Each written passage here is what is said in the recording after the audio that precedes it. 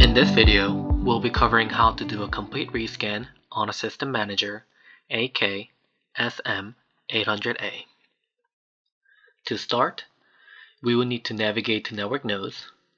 First, press the Menu button, and then press the Configuration. Then on the left side, press the Network node.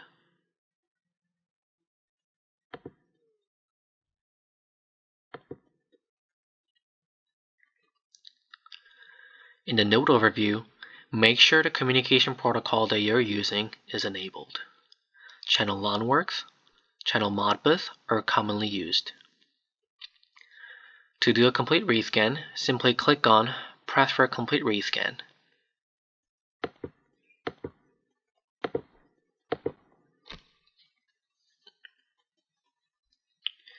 When in progress, it will show IO scan in progress.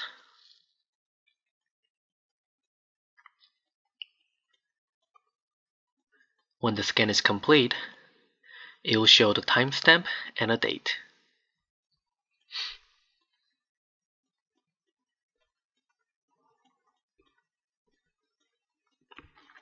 When it's complete, you can navigate to config status to see the status of the modules.